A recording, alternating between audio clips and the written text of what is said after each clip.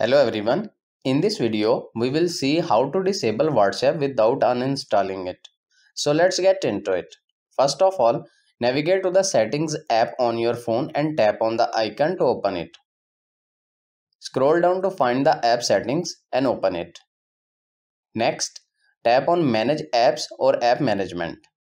This will show you a list of all installed apps. Scroll down and find WhatsApp in the list of apps and open it. On this page, tap on notifications. Toggle off show notifications to disable all notifications from WhatsApp. Go back to the previous screen and at the bottom of the page, tap on force stop to stop WhatsApp from running in the background. And that's it. By using these methods, you can easily disable WhatsApp without uninstalling it. I hope this video is helpful for you. For more information, please subscribe our YouTube channel and thank you for watching.